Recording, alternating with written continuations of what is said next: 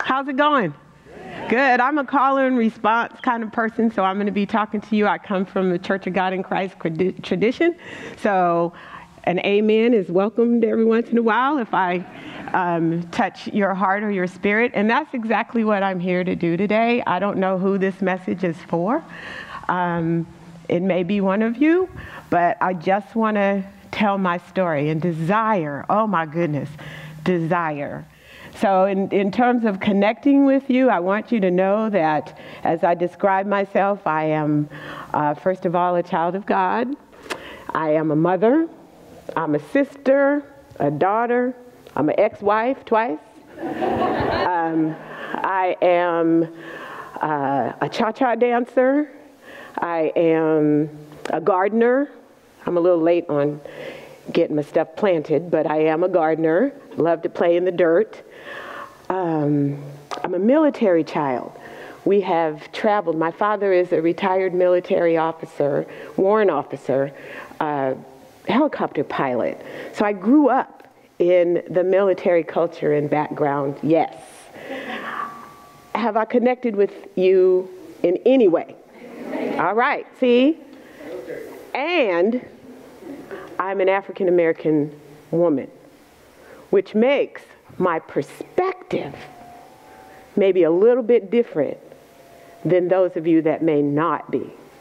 And that's the story that I want to come to you with because even though you may not be African American, we've connected already. And the goal is for you to know that desire, wherever it comes from, is in all of us. It is in all of us. Now, in my culture, you heard him say successful entrepreneur. In my culture, it's not about business. We don't have that many black business people that we can look up to. There's a few, but not that many in general. Entrepreneurship is not where we go. We go to college to get a good job. Are you with me? Go to college to get a good job, like many of you.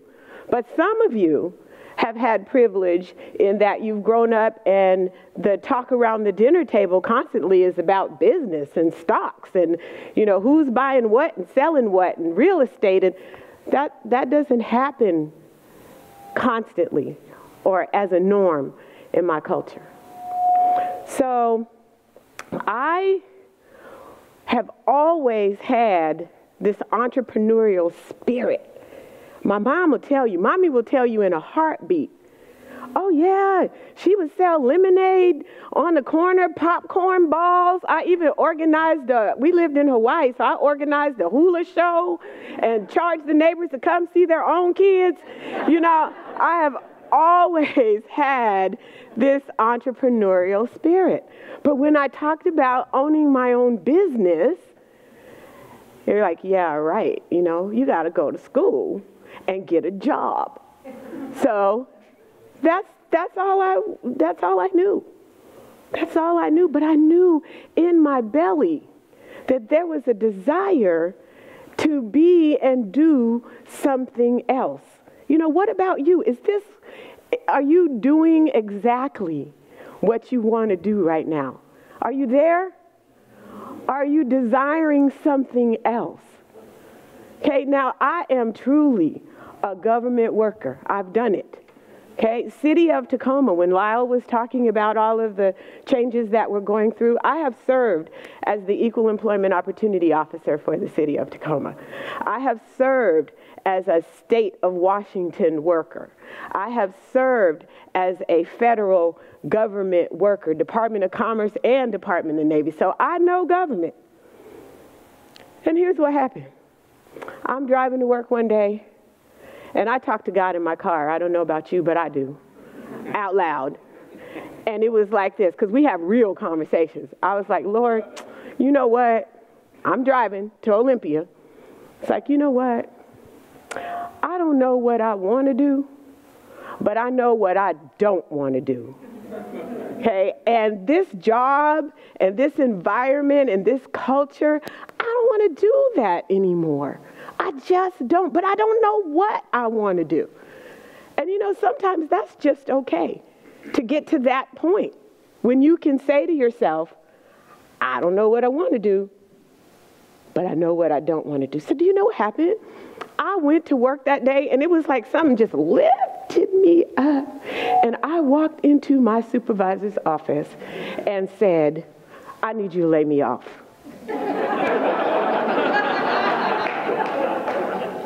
this is real talk, you guys. This is real talk. Because I had a mortgage. I got a daughter. Remember, I said I'm a mother. I'm struggling. You know, she got expensive taste, trying to keep up with the Joneses at school, single parent doing all of that. But I, I didn't know what I wanted to do, but I know that I desired in my belly to do something different. And if I didn't take that leap and do something drastic at that point in time, I could just see myself retiring in 30 years with the gold watch and mad. Saying, what was all this about? Seriously. I mean, that is what the desire was for me. So I was like, I need you to lay me off. And my supervisor was like, Oh, no, you didn't just come up in here and ask me to lay you off. I was like, Mm hmm, I seen your budget. I know. And I know how to read it too. Okay? I've seen your budget. I know that this is a gift. This is a gift. With the salary and the benefits, this is a gift. So let's find, uh, this is mutual here. Please let me go. Okay, because from the mindset, right, the mindset, the culture that I come from, when you talk about freedom, freedom has many different meanings for us. I don't know if, you, if you've ever heard the works of Harriet Tubman. Harriet Tubman, she said, I've freed thousands of slaves, and I could have freed thousands more if only they knew that they were slaves. The mindset right? The mindset. I just knew that this entrepreneurial spirit was in a government worker's job, and the two don't mix. Where are you? You know, I'm just asking. I'm just passing through today. Like I said, I don't know what the word, who the word is, but you may be sitting here going, "Yeah, that's my story too." I just knew that it didn't work. And the definition that I had just learned about faith, okay, faith is leaping and believing that the net will appear. You got to, I mean, bam, and just believe, hello, God, please, please, please. You know, but you have to believe it. And I don't know what came over me that day, but I did it. Fast forward. There's a price to pay for courage. And I jumped and believed that the net would appear, but I didn't know about all the challenges that would come with it, starting with family. Now, I was that I had the uh, second ex-husband at the time. The first one didn't last very long, but the second one, I talked about this with him, let him know how I was feeling, asking, you know, how we women ask permission, you know, just, just getting an understanding. Babe, how is this going to work? We're going from a two income family to a one income family. It's going to be tight. Is it okay? Can I do it? If I do this, then you're going to get this. All of that understood, settled, bam. When it was done, and then the bill started to come, and there was, there was how, how do you say it? There was too much month at the end of the money. Then it got rough. So, without going into too much personal detail, he is my ex husband.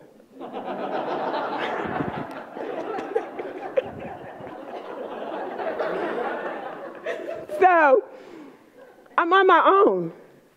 And my parents, oh my goodness, that was probably the roughest part. You've got to be prepared for the feedback. When you step out on faith and step out on courage and in your desire, you got family may be the ones to hurt the most. You've got to be ready for that. Because my parents, and coming from their perspective, and it's all about perspective, They put me through my undergraduate experience. It took me six years to get a degree from WSU. Oh, well. You know, my dad finally called up and said, Baby girl, um, you've been over there long enough to have some kind of paperwork by now. You know, uh, what's going on? You know, and I was over in Pullman. and Any of you all that know Pullman, it's very easy to be distracted. So I was finding my way in a lot of different ways. Um, but finally, I went into my advisor's office and said, uh, uh, Look, daddy's not paying for me anymore. What kind of degree can I get? And uh, ended up with a degree in general studies. Who goes to college for six years and gets a degree in general studies? That would be me. Okay. However, looking, just if you believe that everything happens for a reason, that worked out really well for me because I've had a very eclectic career, but very wonderful career. So at the time that I walked away from that, after all of that investment that my parents had put into me, they just thought I was selfish. You know, how selfish can you be to just walk away from that? But I'm going to say to you, and whoever this message is, that's the point where you have to look within. That's the point where you have to find your own source, find your own, I call it your own inner bling. And I'll tell you why. Because you're going to have to hold on to that. Everyone's not going to be happy with your choice. And everyone was not happy with my choice.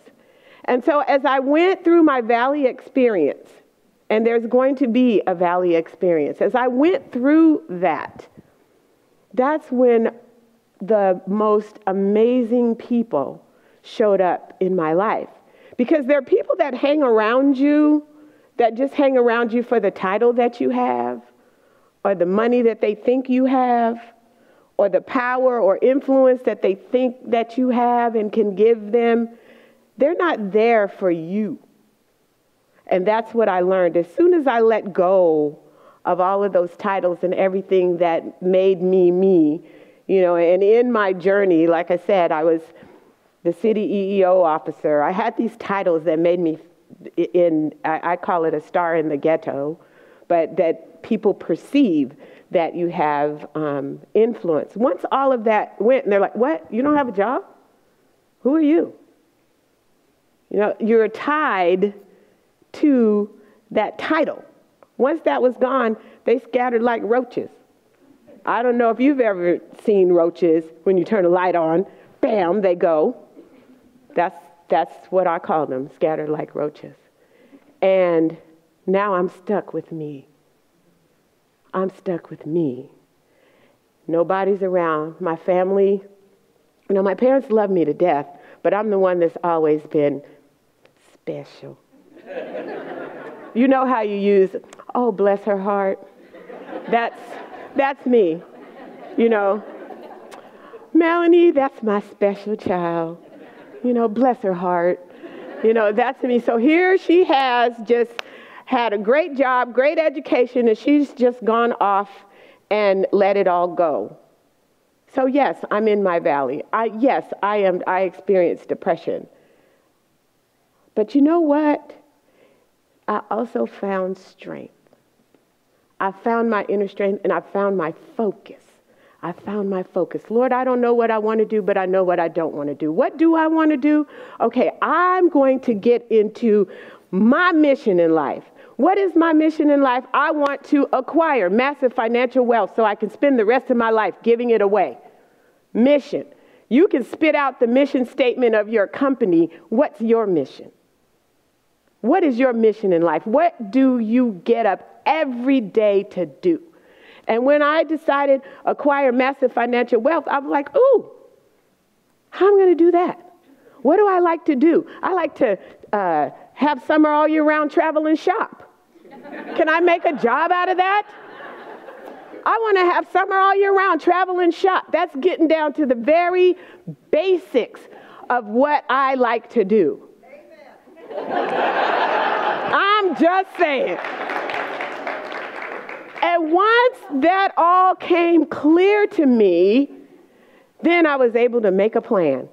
And that's what I'm saying to you. What is the basic core of your desire? Because once you connect that, I call it psyche and soul. When your psyche and your soul align, okay, it's all about you. Can't nobody stop you. I don't care what kind of negativity comes your way. When you get that psyche, that mind right, and it's in alignment with your soul, when you talk to me about sunshine and shopping, whoa, hallelujah. And can I make a job out of it? Oh, I'm on that mission. So what did I do? I said, okay, I summer all year round. What is it that I've got to do? Well, I'd already been to Africa. Okay, so when it's winter here, it's summer in Africa, right? So what if I made me a business? Shopping, importing and exporting. Y'all thought clothes. I'm talking, look out at the port of Tacoma and you see those container loads. Somebody's got to shop for that, right? Why not me? Why not go to Africa? Because I also have that philanthropic piece. And when you think about Africa, you always think about the poor, starving babies and the bellies and the flies. That's all of the images that we see. It's more than that. A lot more than that. So, what if I get into a business that I can travel, shop, sell, help, psyche and soul? I'm like, I'm on it, but I don't know anything about that. what do you do? You got to go back to school. You got to go back to school. You got to accept the challenge. And that's what I did. I found Pacific Lutheran University. I found the Master's in Business Administration program. And at 52 years old, this was my favorite looking class. oh, yeah talking about finance and all this stuff, all these equations that the math guy that just came in for. I was backstage like this. right? But I got an MBA now, right? And I'm like, oh, yeah. Some, I remember something vaguely about that. But I found it. I found the passion. And I'm fast forwarding now to say that it took me five years to graduate, but I graduated and I was able to make my parents proud. I've been to Africa now like what, 14 times and have started to make my own plan. But that's the goal that my next life is going to be about that. So then I can make money. I can help people. My psyche and my soul is aligned. I'm not unhappy anymore. My parents love me again. Well, I shouldn't say that they never stopped loving me, but I'm not as special as, as I used to be. You know, and they still say, bless my heart, but they say, bless my heart with really proudness.